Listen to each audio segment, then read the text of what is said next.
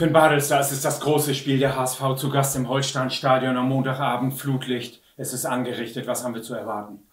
Ja, so, so eine Spiele sind natürlich geil. Jetzt muss man kleine Abstriche machen, leider ohne Zuschauer. Sonst wäre das natürlich ein absolutes Highlight hier bei Unterflutlicht, äh, so ein Spiel zu bestreiten. Aber auch so ist es, ähm, glaube ich, immer eine Herausforderung gegen eine richtig, richtig gute Mannschaft, die super gestartet ist in die Saison, um da, ähm, ja, da vielleicht ein, ein, Bein zu stellen und selber, selber seine Qualitäten auf den Platz zu bringen. Du hast richtig viele Spiele gegen den HSV absolviert in deiner Fußballkarriere.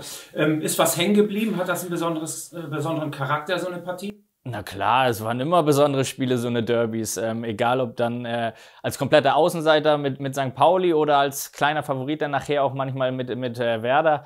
Trotzdem waren das immer heiß umkämpfte Spiele und äh, da hoffe ich am Montag auch drauf. Wir sind froh, dass du schnell wieder zurückgekommen bist nach deiner Oberschenkelzerrung. Es lief da richtig gut für dich. Ist das dann so ein Schock im Moment, wenn man nicht weiß, wie lange dauert's?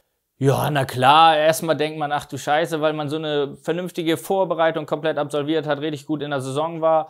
Und dann wirft einen das natürlich kurz äh, erstmal aus der Bahn, aber es ging ja zum, zum Glück dann doch alles schneller. Ähm, wir haben hier gut gearbeitet, ich war schnell wieder auf dem Platz, habe so nur ein Spiel verpasst. Von daher Blick nach vorne und ähm, weiter geht's. Holstein Kiel ist richtig gut in die Saison gekommen. Dazu hast du beigetragen. Jetzt der HSV. Ähm, wir wollen die drei Punkte. Was müssen wir tun dafür?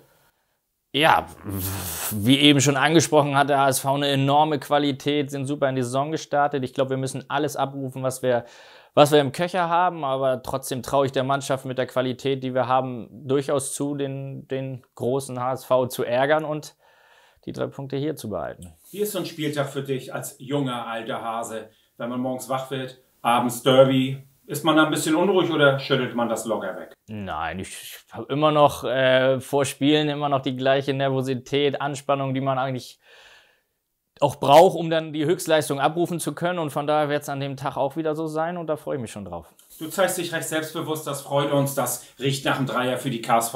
Viel Erfolg, Finn Bartels. Dankeschön.